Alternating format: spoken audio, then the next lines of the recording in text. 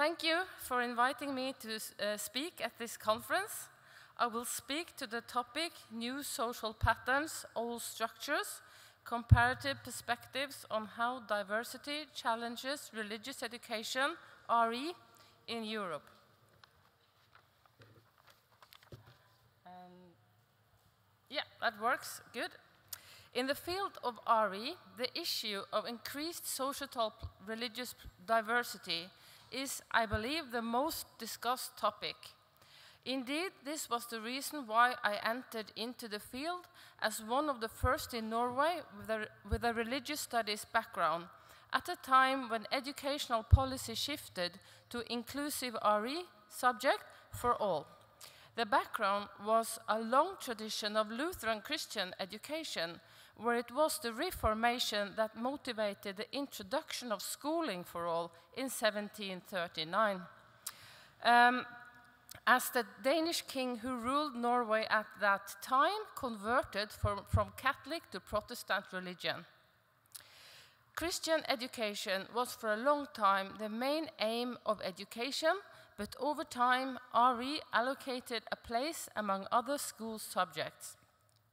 Between 1974 and 1997, a secular worldview alternative existed, though the majority had Christian RE. From 1997, we got one subject for all in the Norwegian comprehensive educational system. There is only a limited right to exemption from activities and not from knowledge content.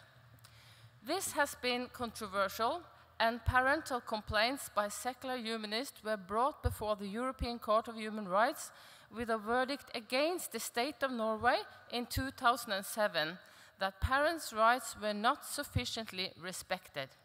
Following this, the national curriculum and the legislation were adjusted.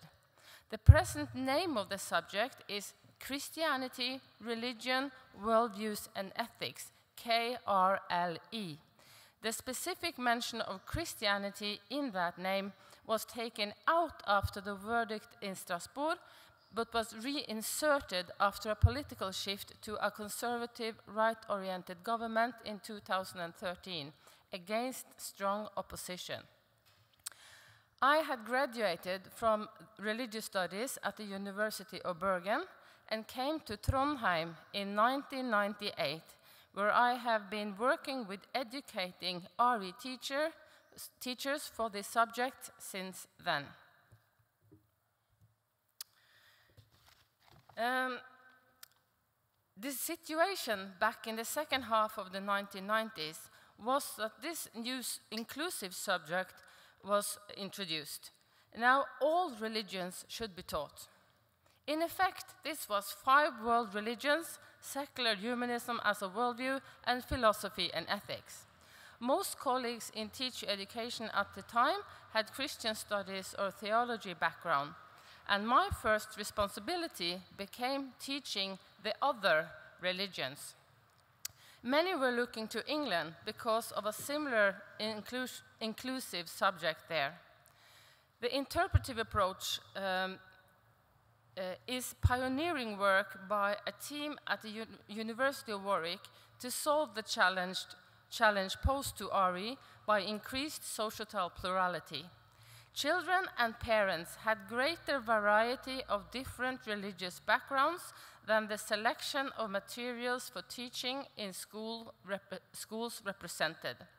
This could mean that a child is taught about his, her own tradition in a way which is alien to him or her, or learns about religion in ways which is not useful for understanding more about own or others' religions in the present diverse society. The internal diversity of the grand religious traditions became obvious as the work by the Warwick team was based on ethnographic studies into the lives of for instance, Hindu children in Britain. It gives a certain focus on the lived side of religion, which is probably closer to children's experiences than tenets of faith or the history of the traditions, which is often the traditional content of school learning. The approach is anthropological in its perspectives, but combine this with profound pedagogical groundwork that put the child in center of the attention. Uh, yes. Um, Jackson, Jackson uh, distinguishes between religion as a grand tradition, groups within those traditions, and individuals. This pedagogical approach encourages an understanding of religions as dynamic and evolving, countering essentializing representations. Three main principles in teaching religion in a plural context is to reflect on representation, what is selected as the content of teaching, interpretation, how materials is interpreted by students, and reflexivity for students to reflect on what, uh, what that, on that which is presented to them in relation to their own experiences and backgrounds. The interpretive approach is possibly the most well-known theory of religious education and has spurred widespread interest and debate. Uh, Leni Franken revisited the theoretical foundations of it in an article from 2018, arguing that it is, possible, it is a possible way out of ongoing debates about dilemmas of what are neutral grounds for inclusive RE. She quotes Jackson's 1997 book, The Interpretive Approach, one problem for religious education is that religions and cultures are rarely represented in a vibrant, flexible, and organic way. RE tends to treat religions as discrete belief systems and cultures, when they are discussed at all, as separate, bounded entities. And from Jackson's uh, 2004 book, Rethinking Religious Education and Plurality, oh, here are the quotes. Yeah, easier to follow. The second quote from the 2004 book, Rethinking Religious Education and Plurality, the content of RE is not simply data provided by the teacher, but includes the knowledge and experience of the participants and an interactive relationship between the two. The specialist religious education teacher working with children from diverse backgrounds needs the professional skill to manage learning that is dialectical. If teachers can have the right degree of sensitivity towards their students' own positions as well as to the material studied and can develop appropriate pedagogies, then a genuinely conversational form of RE can take place which can handle diversity we see here that there is no demand for teachers to have a particular religious or theological or religious studies background. It is a demand for teachers to have professional skills. Now, a little bit about the signpost might be something you know, but um, in my preparation for this paper, one of the questions which Francesca uh, suggested to me was, is, what is the role of scholarship? Initially, it could be helpful to make the distinction between role vis-à-vis -vis policy and role vis-à-vis -vis educational practice. Geir Skeie has found that since the 1990s, research in the field of religious education in the Nordic countries has had a focus on the complexity of religious plurality, including teachers' strategies to handle this. Therefore, the debate on plurality and RE is quite advanced, but this has little impact at the political level, where the focus is rather on whether or not Christianity has a special role in the country's cultural heritage. Regarding the role of scholarship on a European level, I see Signpost as a substantial effort to bridge that gap of research, policy, and practice. The background was a discovery, discovery that policy that the countries of the Council of Europe had already agreed on was not followed up, uh, in, up nationally.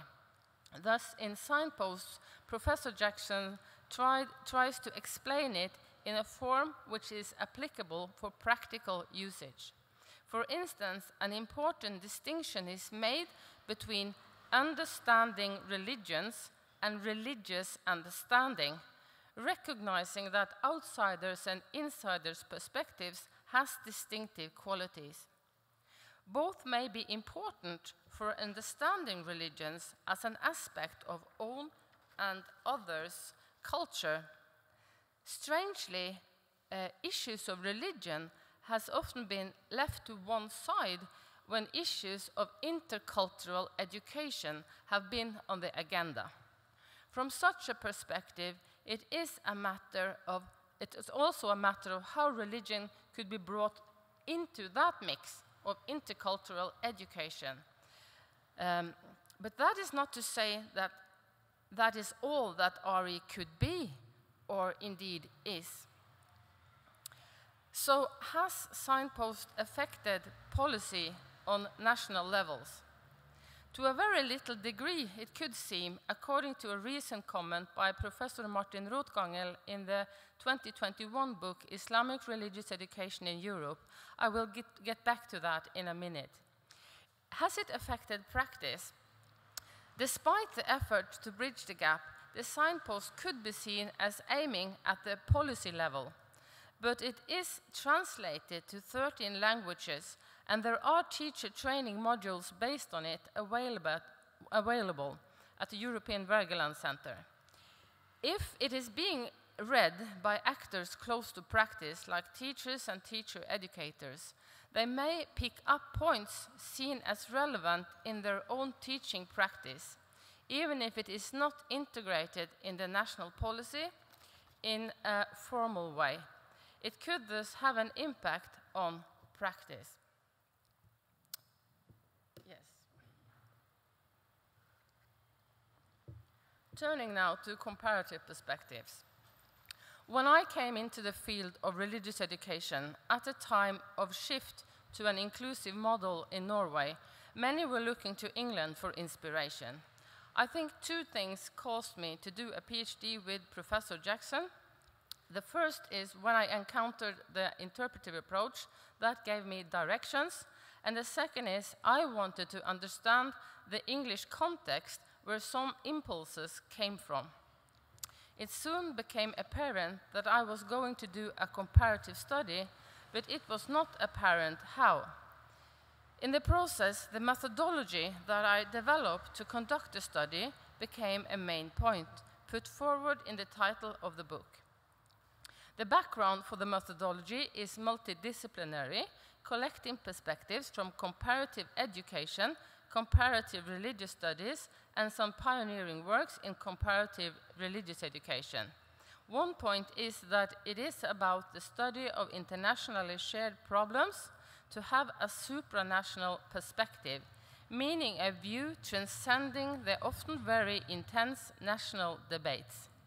It aims to focus on the impact of internationally shared problem on national processes. It is analytical rather than purely descriptive, aiming at comparative analysis.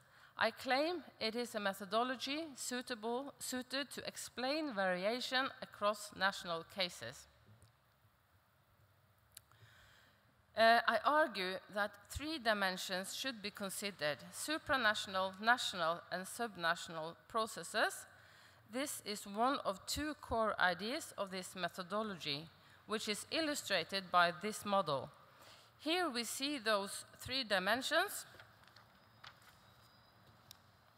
Um, and this is combined with four levels, which is really four levels of curriculum from curriculum theory, John Goodlad. In the model, this is A, a societal level, B, an institutional level, C, an instructional level, and D, experiential level, what students actually learn or experience. Why the levels? It is to secure validity in a comparative study through thoroughness in exploring national history and local school systems and acknowledging the complexity of curriculum. I have argued that together these make up a map of domains of relevance for learning in RE. I distinguish also between formal and informal processes, where verdicts at, at, the European Court of Human Rights are example of, examples of formal supranational processes. The societal changes in the population's relationship to religions are examples of informal processes. I also want to draw your attention to the arrows in the, in the model, illustrating how this is not a top-down model of how policy affects practice, but rather illustrates how impulses can go either way. For instance, it was the increased numbers of immigrant children in Birmingham, UK, which spurred John Hull's famous 1975 innovative interreligious syllabus. I call these impulses bypasses. Impulses from signposts on teaching in national or local context, even when the national policy does not reflect those ideas, are also examples of bypasses. The book series Religious Education at Schools in Europe maps all European countries, RE in all European countries. All six books are out now.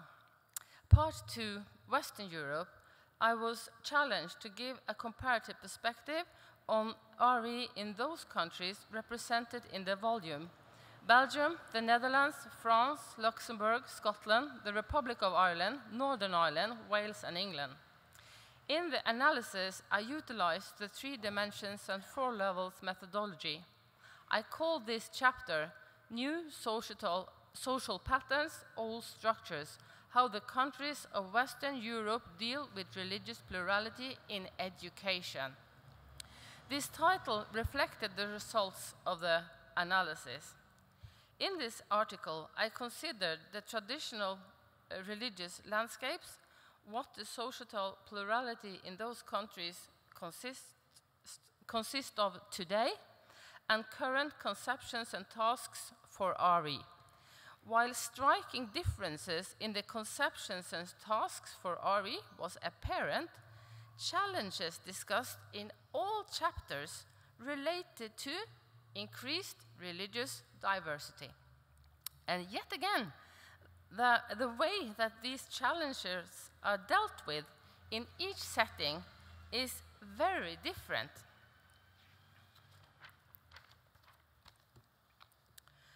Uh, what kind of responses to religious diversity that exists depend on what nation, national, uh, on um, national religious history in the tale of the history of the nation, religion is allocated a specific role, and this history is described as deep, cultural, and intersecting with the identity of the nation.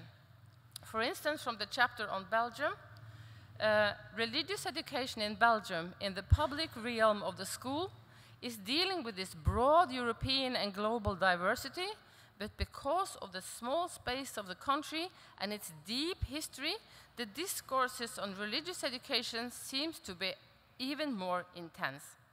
Thus, a pattern of same but different came to the fore, that the state-school religion relationship in history, or the tale thereof, seemed determined for what possibili possibilities was accessible in each context to address the increasing societal diversity. This left me pondering because even if writing this chapter had expanded my view, uh, this finding was based on one chapter from each country, while the no England-Norway comparison was much more thorough about national context. So I called a symposium at the Nordic Conference of Religious Education in 2019 to explore this matter further, and the res result became a special issue of religion and uh, education um, published in 2021. Uh, here, scholars with experience of comparative studies explore the question how religion in different contexts, including history, impact religious education systems Attention to methodology for comparative studies is also followed up in this issue. In my original study, I had found that specific similarities between England, English and Norwegian RE were somewhat incidental. Pluralization of society is put forward as a reason for change to inclusive models in both countries, but whether change could happen seemed to depend on nation-specific factors and particularly the history of church, state, and religion, or the tale thereof. This is why a combined focus on the supranational and the national is necessary. Why did changes to inclusive models happen in some places and not others? Uh, and this is actually explained by Leni Franken's article in this, in this issue. My work with new social patterns or structures had revealed a pattern of increased religious plurality in the population documented by statistics and school systems that form and forms of RE that seem to be resisting adjusting to those changes in the introduction to the special issue, I therefore present this as a hypothesis for further exploration, that new social patterns reflecting the present plurality are not sufficiently accounted for in educational systems as they rather reflect the traditional religious landscapes. Um, and these are the articles uh, and I will go into some of them a little bit. Uh, in uh, Jonathan Doney's statement, archaeology, archaeology, it is about digging out how something became, uh, becomes possible, and here focusing on the Christian ecumenical movement as a supranational process that made uh, inclusive uh, RE possible in England and Norway. It illustrates how history affected what happened, but also what might happen today. In Eastern Europe, inclusive RE did not so far become possible. Typically, RE is catechetical. In Martin Rothgangel's The RE Puzzle of the Visegrad Group and the Answer of Collective Memory, he compares RE in Poland, Czech Republic, Slovakia, and Hungary. They share a history of being part of the Habsburg Empire. He thus explores some other kinds of structures. In Sibren Miedema's apostolate on adequate methodologies for comparative re research regarding the relation religion, worldviews, and education, he notes how this, uh, he refers to Skeie's, Skeie who has noted a contextual turn in research on religion and education. We have seen in religious education, this is a quote, is it here? No, it's not. Right. We have seen in religious education um, research an increasing emphasis on the re relationship between object of study and the social and cultural surroundings. This has been discussed not only as a methodological issue, but also as an epistemological issue. Um, this is from my introduction then, a little bit.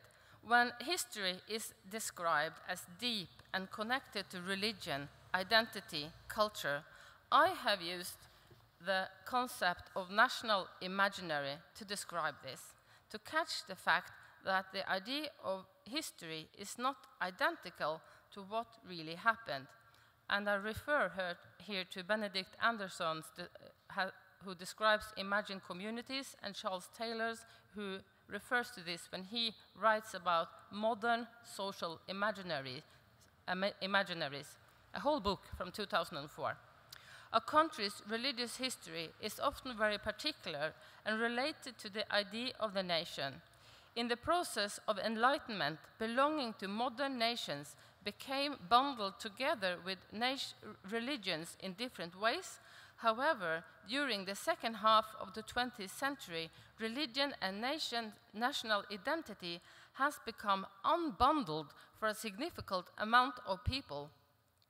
For instance, today, Islamic Norwegians, for Islamic Norwegians, nationality is not relevant for religious identity. For others living in that same country, however, it is relevant, but in the face of the pluralization, it becomes important to negotiate new ways of integrating religious and national identity. For instance, through a rhetoric that all share in the Christian cultural heritage, if not the Christian faith. I believe this bundling and unbundling of religion and nation becomes particularly visible when looking at debates about RE in national school systems. In Church, State, and RE in Europe, past, present, and future, Leni Franken explains why some structures are so hard to change. Both religion and schooling is often integrated into nations' constitutions. Behind the legislation is often historic conflicts from the past, laid to a form of rest. Real structural shift to models more suitable to the new situation therefore often require constitutional amendments.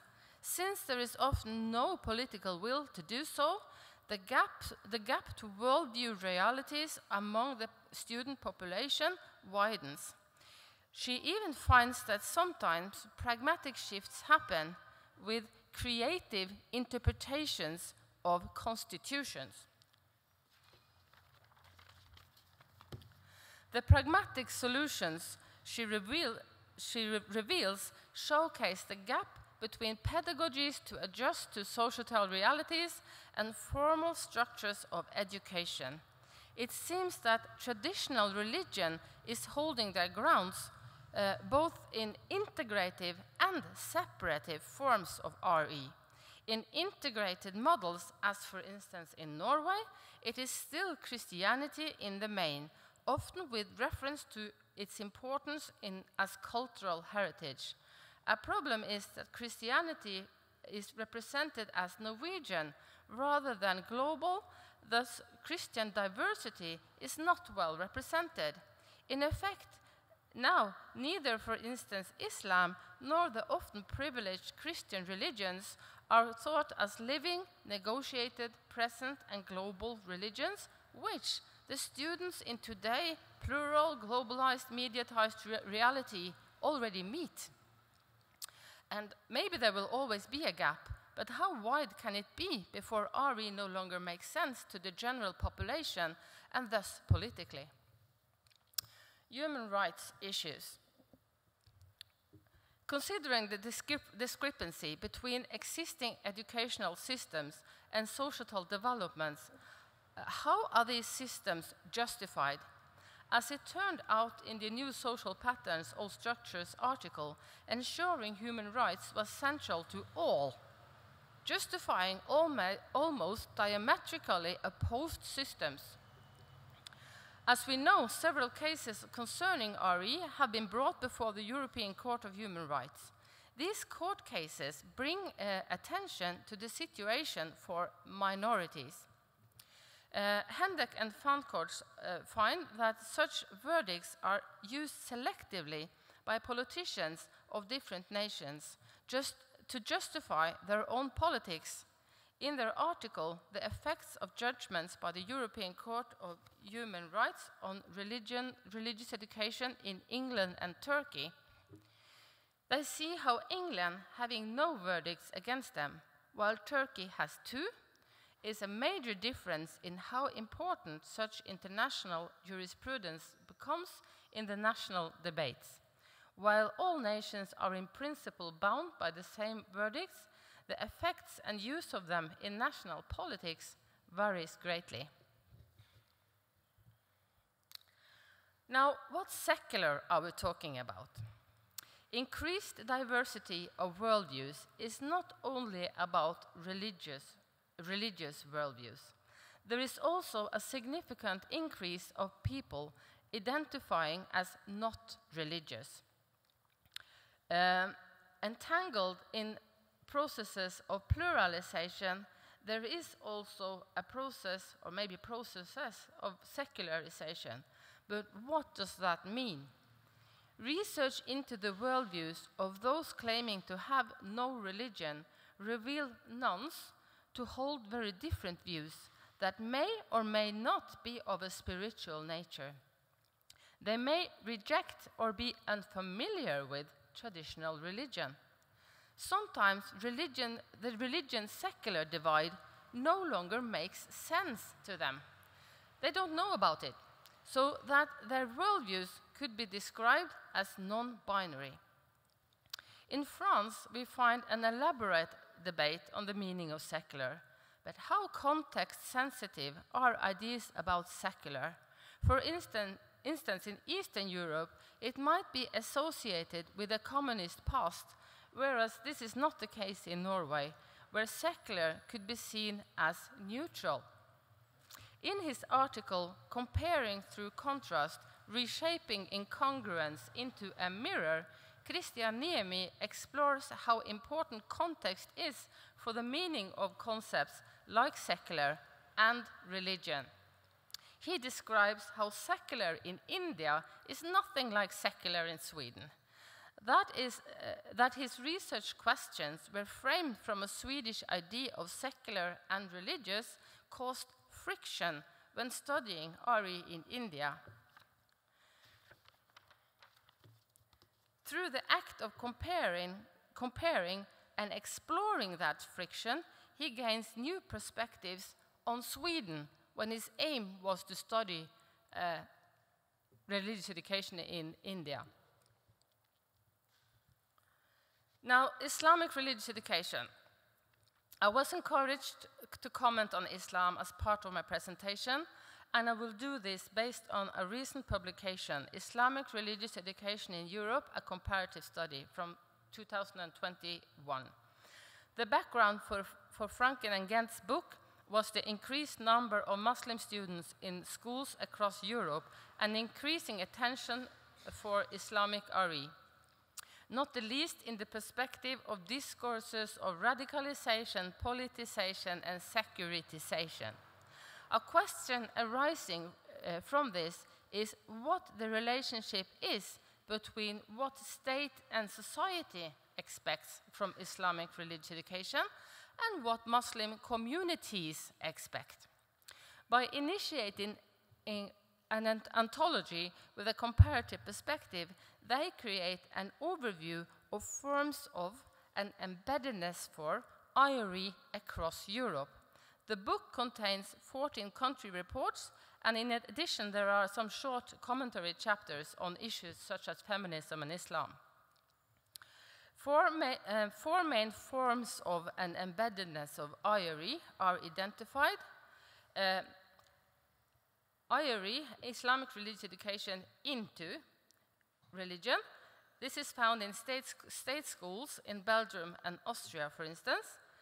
Uh, education about Islam is found in state schools in, for instance, Sweden and Norway. Um, uh, is, Islamic education is found, of course, in Islamic schools, which you can find, for instance, in Netherlands and France. And you also can find Islamic religious education in confessional Christian schools, for instance, in Belgium, Netherlands, and Germany. Through focusing on Islamic RE, some general points regarding RE is illuminated at the same time as Islam specifically gets some much needed attention. In the words of Hendek's book report from 2021, the fate of RE determines the fate of IRE in a country, a point which could not be caught without a comparative perspective. In my short chapter, comparing in brief Cyprus, Netherlands, and Denmark, uh, this illustrates uh, quite clearly how national context determines what kind of RE there is. If Christian RE is confessional, IRE and other kinds of REs is confessional. If the history is of strict separation of state and religion, there is, and there is no RE, and there is no Islamic RE in schools, as in France. And in areas uh, with traditions of Protestant churches where inclusive RE developed, we, find, we now find uh, education about Islam as part of inclusive school subjects. What we can actually claim to see in a comparative perspective is how parts of European history that regulated Christianity through historical big bickering back and forth between state and religion created a certain deal for Christian education specific to each uh, state or nation. In each case, the deal for Christian RE is expanded to other religions, such as Islam. But maybe that doesn't fit so well. Maybe this needs to be, be renegotiated to fit Islam into European history in its own right. A point may be that more of Europe's history of different religions uh, needs to be written into and negotiated with regard to the story of the nations and its alleged deep history. Uh, in effect, European cultural heritage. Neither Islam nor Judaism, for example, are new in Europe. Far from it. Rothgangel's comment, Islamic religious education in Europe and European uh, recommendations as a mutual, yeah, that's a slide, isn't it? Yeah. Um, this, um, his, this comment is relevant for the question of the role of scholarship on policy and practice. Referring to advice from Signpost and also the Toledo guidelines, uh, for instance, he observes that almost no reference to this European advice is made in any of the book chapters. While in the named recommendations, religion is seen as a cultural phenomenon that there should be teaching about for integrative purposes, this is often not the understanding of the organizers of Islamic religious education. He lists a number of possible reasons for this, but one is that in uh, the often quite hostile societal debate, uh, Muslim pupils feel vulnerable and in need for a safe space, away for, from prejudice and discrimination, for instance, among peers in Muslim schools. This increases segregation at the cost of dialogue and integration. Also, the mere complexity of different national contexts where this advice is integrated or ignored is named as a challenge. How well does the advice fit? This strengthens the view that attention to context is also needed. I will now turn my attention to an alleged crisis in English RE. Uh, in England, there has for several years uh, been a murmur of crisis. Um, this crisis is on the agenda of Biesta and Hannam's book from 2021, The Forgotten Dimensions of Religious Education. In my reading, I find that a forgotten dimension is perspectives on religions as lived, what it entails to live, entails to live meaningfully with religion. However, a main point is how the dimension of religion is lacking in theories of education, while at the same time, uh, theories of education is lacking in theories of religious education. If this crisis is not solved and no one understands the point of RE anymore, there is a danger that it will be taken out of the school curriculum, which I think is actually part of the debate in England now. For Hannam, as I understand it, a main point is, um, of both education and religious education is that it should enable young people to act in a diverse reality through subjectification. This refers to Biesta's series of education where he distinguishes between qualification, socialization, and subjectification. In chapter 6, where Bista interviews Panjwani and Revell, the focus is on essentialism, where Islam works as the perfect example of why this is problematic. In the current political climate, we find essentialized ideas of what Islam really is. For instance, is Islam compatible with democratic values or British values? It is impossible to answer this question fairly with a yes or no because Muslims shape Islam and Islam shapes Muslim, Muslims. It is not a static phenomenon, but diverse uh, and context sensitive and evolving. And still, in schools, such questions may be posed to pupils. You might, might find examples in textbooks. Joyce Miller uh, was part of a commission on religious education that worked on this crisis and published their final report in 2018. While doing investigations for the Commission, she did observe a lot of good quality teaching, but the problem was the lack of coherence to educational structures that supports it. This seemingly uh, this is seemingly part of the same tendency that I identified in new social patterns, old structures. What she asks for are structures that supports more open exploration of religion and worldviews as phenomena, including as lived realities in people's lives. Um, does the alleged crisis in English RE apply elsewhere, for instance in Norway?